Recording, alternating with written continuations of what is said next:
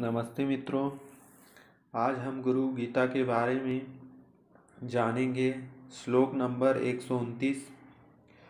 जप हीनासनं कुर्वाण हीनकर्म गुरु गीता प्रयाणे वा सङ्ग्रामे जपन जपञ्जयाप्नोति मरणे मुक्तिदायिका। सर्वकर्माणि सिद्ध्यन्ते गुरुपुत्रेण संशया। गुरुमन्त्रो मुखो यस्य, तस्य सिद्ध्यान्ति नान्यः। दक्षिणायाः सर्वकर्माणि सिद्धयन्ति गुरुपुत्रके।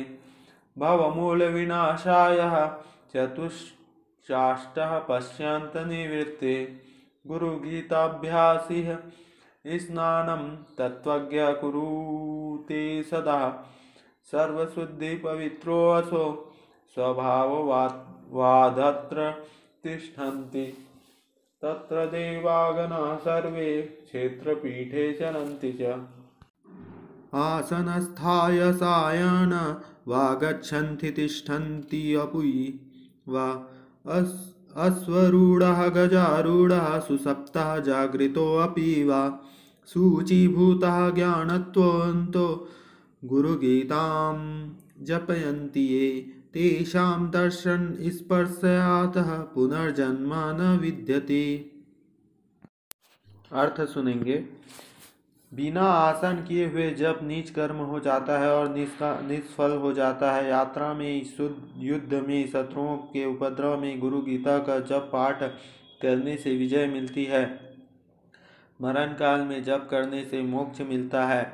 गुरुपुत्र के शिष्य के सर्व कार्य सिद्ध होते हैं, इसमें संदेह नहीं है।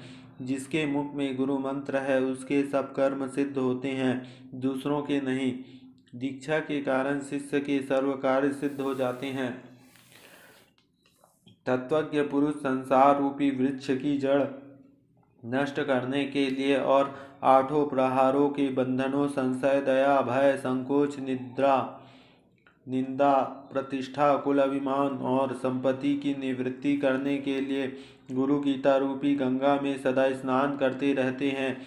स्वभाव से ही सर्वथा शुद्ध और पवित्र, ऐसे वे महापुरुष जहाँ रहते हैं, उस तीर्थ में सब देवता विचरण करते हैं।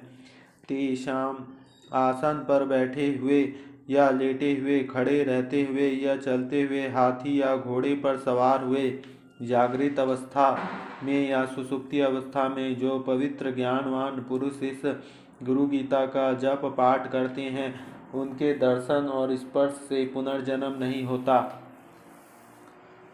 श्लोक पढ़ेंगे, एक सौ छत्तीस श्लोक। कुशा दुर्वासने देवी आसेन शुभकम्बले उपविश्य ततो देवी जपेदेकाग्रासनसः शुक्लं सर्वत्र वे प्रोक्तां वश्ये रक्तसानं प्रिये पद्मासने जपे नित्यं शान्तिवश्यकरं परम् वस्त्रासेन च दरिद्रयं, पाशेन रोगसम्भवः। मेदिन्यां दुःखवाप्नोति, काष्ठे भवति निष्फलम्।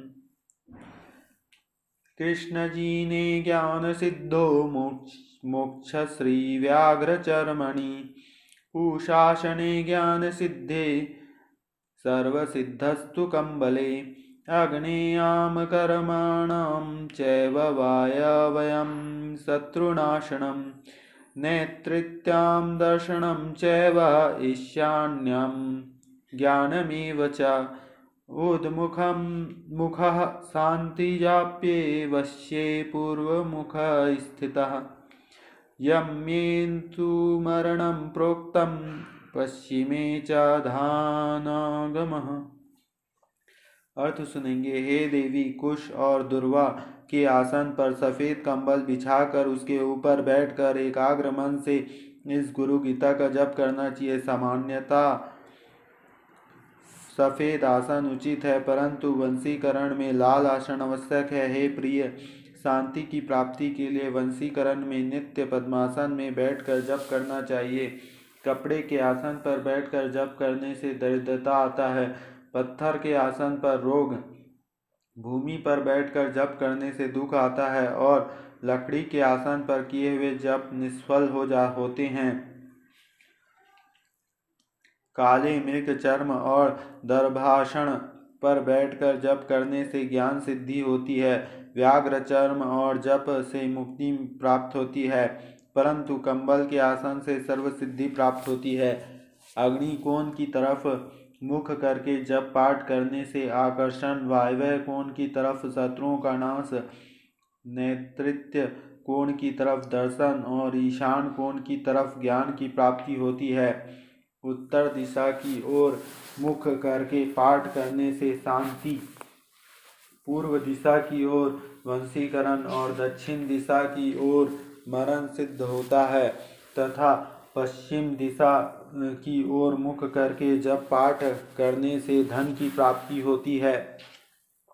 इति श्री स्कंदोत्तर खंडे उमा महेश्वर संवादे गुरु गीतायाम द्वितीय अध्याय। तो ये दूसरा अध्याय समाप्त हुआ। अब कल से हम तृतीय अध्याय के बारे में जानेंगे।